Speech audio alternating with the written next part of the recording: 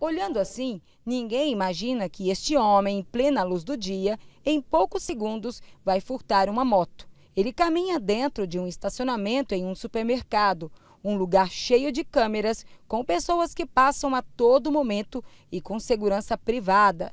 Nada intimida nem impede a ação criminosa. Este homem que você viu nas imagens, ainda desconhecido, agiu em plena luz do dia, na maior tranquilidade, inclusive com pessoas passando ao lado dele. Ele subiu na moto, desceu, depois subiu novamente, né, destrancou a motocicleta e levou. Mas esta moto não é dele, é do senhor Marclélio, que usava esta moto para trabalhar. Ele que tem duas crianças pequenas, a esposa e a sogra, que dependiam justamente do trabalho de entregador, que o senhor, infelizmente, gente, foi demitido logo depois. A vida do senhor virou uma bagunça.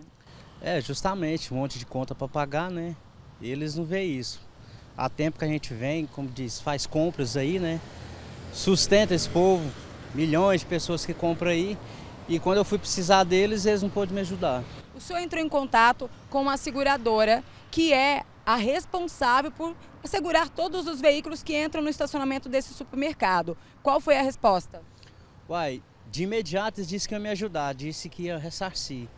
Aí depois, olhando os áudios, eles disseram que não podia fazer nada porque a moto estava sem corrente, sem cadeado. Eu falei, mas como se eu deixar a moto trancada? Tranquei em cima na ignição e na tranca, que já vem de fábrica.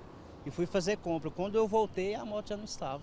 Inclusive, nós temos acesso e vamos mostrar um pedaço desse áudio onde ele tenta conversar com a seguradora, que seria responsável para ressarcir esse dano, essa perca que ele teve dentro do estacionamento de um supermercado aqui na capital. Nas imagens é bem claro, realmente você trava o guidão, né?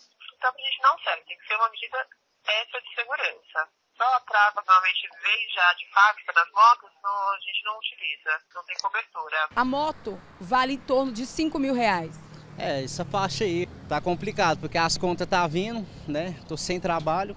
É, um, é a moto é, um, é o veículo que eu usava para trabalhar. E agora, como se diz, estou nas mãos de Deus aí. Você acredita ainda na recuperação da moto? Não, na recuperação da moto não, mas que eles venham me ressarcir pelo menos o valor dela.